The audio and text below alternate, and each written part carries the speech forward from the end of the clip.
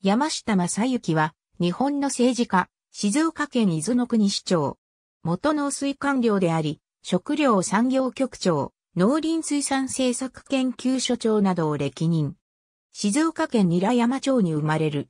静岡県立韮山高等学校卒業。1980年3月、東京大学教養学部卒業。同年4月、農林水産省に入省。1983年から1985年までハーバード大学ケネディスクールに留学し、公共政策学修士を修了。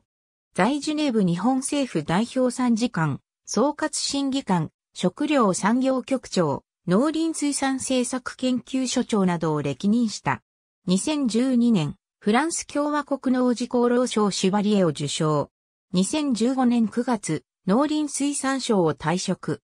2017年3月から2020年9月まで日本中央競馬会場無理事を務めた。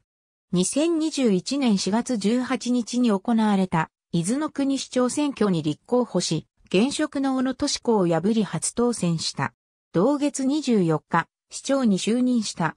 当日有権者数4万78人最終、投票率59.91%。